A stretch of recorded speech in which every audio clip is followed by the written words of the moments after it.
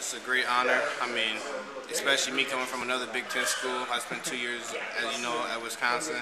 Um, it just really showed that the guys had a lot of respect for me. He knows so much about the defense. He's been helping me out a lot, especially because I've been playing in the same position as he is now. So um, he's been a great leader for me and, and our defense. He's a real, uh, real igniter, as we like to call him. You know, he just, you know, he just knows all of his stuff. I mean, he's just a great teammate. He's there for us whenever we need him, and he's just, you know, just a great mentor and leader for me.